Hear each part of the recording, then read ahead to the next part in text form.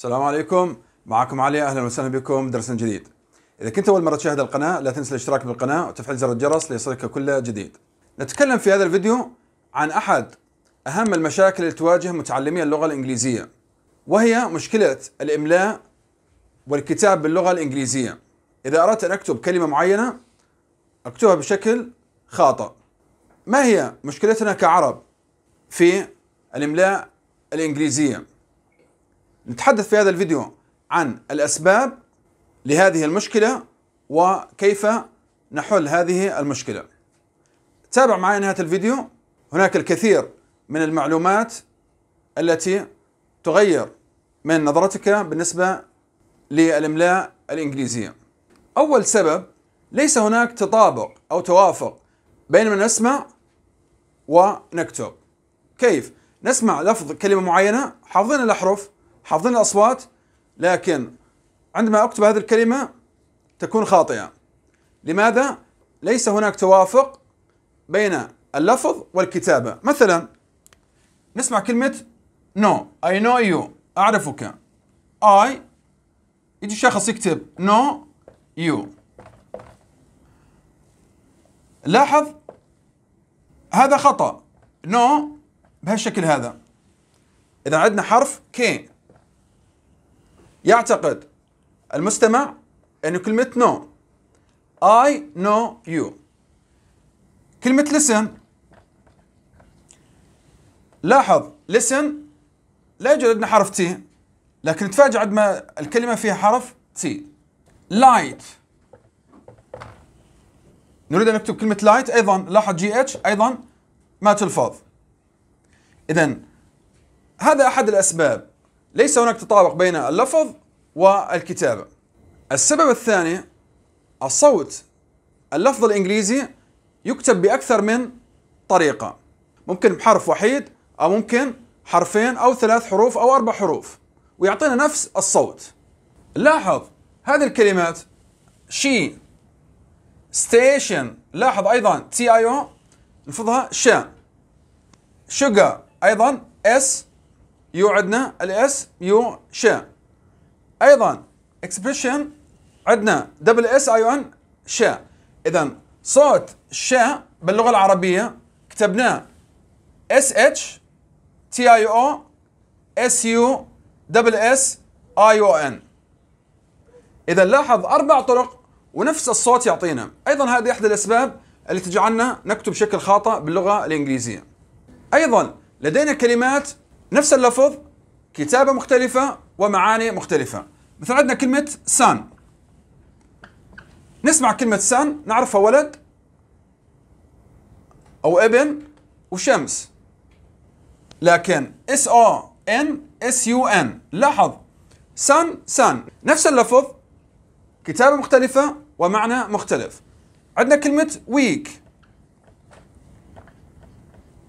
أيضا. الكلمة الأولى weak ضعيف الكلمة الثانية week أسبوع. نفس اللفظ معنى مختلف وكتابة مختلفة. أيضا هذه أحد الأسباب التي تجعلنا نخطأ عند الكتابة باللغة الإنجليزية. أيضا مثل عندنا write لاحظ write W R I T E يكتب R I G H T بمعنى يمين أو صحيح. نفس اللفظ. اذا هذه اذا هذه أحد الأسباب التي تجعلنا نخطأ باللغة الإنجليزية. عند الكتابة. يجب أن نعرف هذه المعلومات بالتالي بيكون عندنا فكرة عامة للكتاب باللغة الإنجليزية أقصد كتابة الكلمات. أيضا لدينا الاحرف الصوتية المركبة. نعرف الأحرف الصوتية A I O U E. تلفظ أيضا بأكثر من طريقة. مثل عندنا E A ممكن نلفظها E مثل عندنا set ممكن أيضا E A نلفظها أ head. لا نقول هيد head. set head. إذا نختلف لفظ هذه الحروف. مثل عندنا double O food food إذا بين أو طويلة أيضا أو قصيرة. إذا هاي أحد الأسباب التي تجعلنا نخطا باللغة الإنجليزية. أيضا لدينا بعض الأصوات. مثل عندنا F enough G H لاحظ G H F عندنا phone P H أيضا ف. feet حرف ال F لفظه ف. feet حرف ال F ف. أيضا بعض الحروف ليست موجودة باللغة العربية. إحنا عندنا حرف P فعندنا كلمة park ينبح. لكن حرف بي مشدد ليس موجود باللغة العربية. بارك ممكن شخص ينطق الكلمة هذه بارك يقصد بها ينبح. الكلمة هذه أيضا بارك. يعني مختلفة. هل نضغط على حرف البي الكلمة الأولى بارك الكلمة الثانية بارك. هذا بالنسبة للأسباب. الآن نتكلم ما هو الحل؟ okay أستاذ انت أعطيتنا الأسباب فهمنا الأسباب. طيب أعطينا حل لهذه المشكلة. أول حل لهذه المشكلة تعلم الكلمات البسيطة. نتعلم الكلمات التي تختلف بحرف واحد. set net mat. بيكون عليه أسهل. كبداية. man can fan اذا أبدأ بالكلمات ثلاثية الحروف. أيضا أنتقل للكلمات رباعية الحروف. عندنا site kite take lake. اذا ثلاثية رباعية اذا أتعلم بالتدريج لكي تترسخ لدي الفكرة تماما. أيضا أبدأ بتعلم الكلمات الشائعة باللغة الإنجليزية. مثل عندنا الضمائر. بحالة الفاعل I he she it we you they أتعلم الضمائر بحالة المفعول به. me him her it us you them ضمائر بحالة ضمائر بحالة الملكية. my his her its our your their.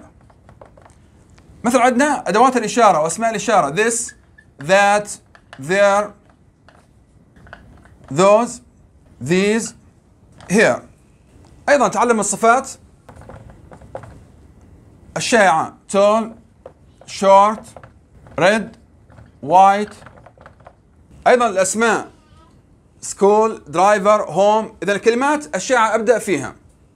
أيضا أحاول عندما أحفظ الكلمة أقطعها. مثلا عندنا كلمة information.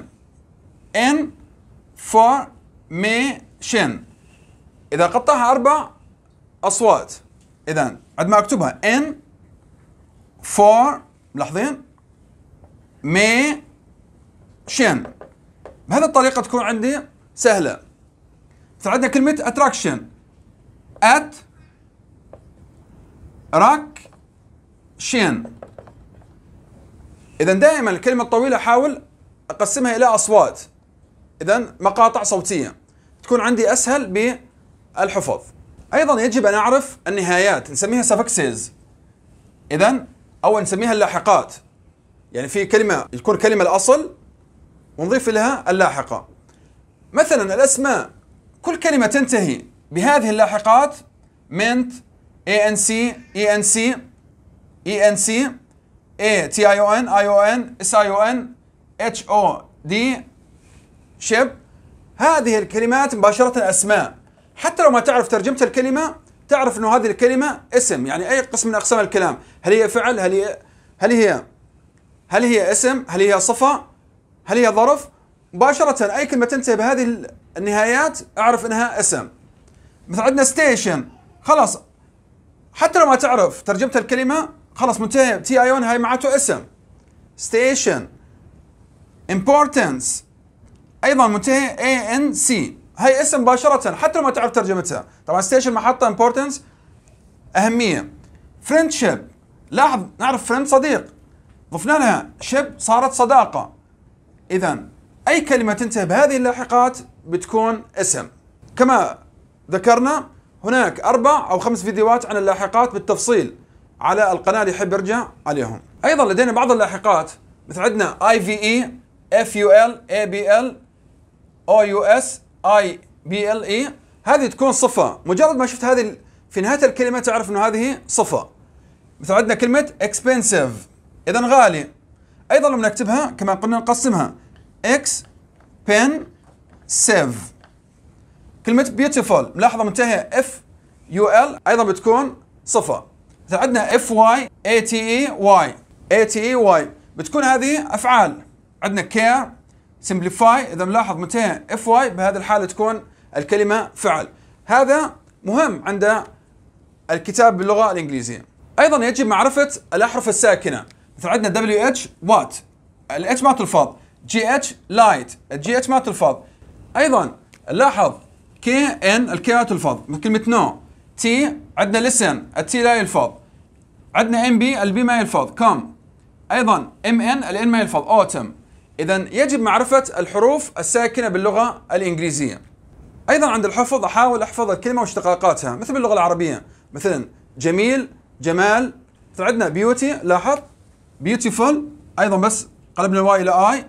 beautifully لاحظ. ضفنا ال Y beautician إذا كلها من أصل الجذر هو beaut لاحظ. واشتقنا منه الكلمات الأخرى. أيضا أحفظ الكلمات المعروف باللغة الإنجليزية مثل عندنا would should could لاحظ. L ما يلفظ. إذا نتعلم هذه الكلمات.